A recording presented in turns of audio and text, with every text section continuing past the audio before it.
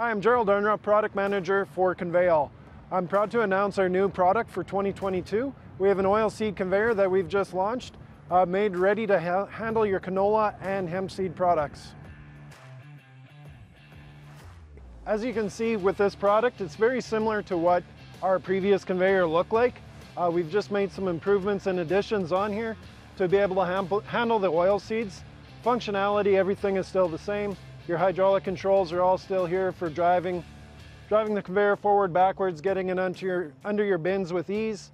Your raising, lowering of your hopper, raising and lowering of your conveyor. We still have the uh, electric discharge spout mover on it, as well as the lights and controls, everything are still here.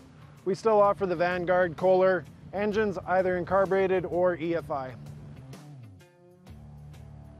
A lot of the changes and improvements we've done on the oilseed series is here in the hopper. Uh, one of the main ones being a double flashing. So one main flashing over top of the chevron pattern here, and another one underneath that runs right on the skive part of the belt. So we've taken a couple of inches of the pattern off of the belt just to give a better seal with the flashing in there.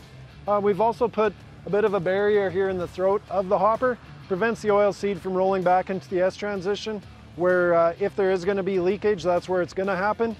And um, with these improvements, we haven't really changed capacity a whole lot, gone down by maybe 5%, but overall still have the same capacity we did before. The other thing we've added is a scraper in the side of the hopper, just if any seed does get underneath the belt, any crushing, anything like that, that scraper is there to remove it before it gets onto any of the rollers and builds up. On our oil seed conveyor, the whole drive system has stayed the same.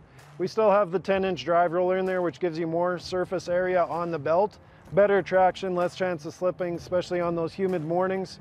So it can still be used for fertilizer, any other products. Um, another addition we've made is we've added another scraper just right here before it goes through the drive system. So if there is any residual seed or oil left on the back of the belt, that gets scraped off here um, before it goes through the whole drive system, just to keep things clean and uh, keep things working the way they're supposed to. That it is just right here near the discharge. Again, same idea as the other scrapers, just take any of the residuals off of the belt before it goes around the rollers, keeping those rollers as clean as possible. Keeps the tracking in line, don't get any buildup, no slipping, and uh, just keeps the conveyor working at the performance you're used to.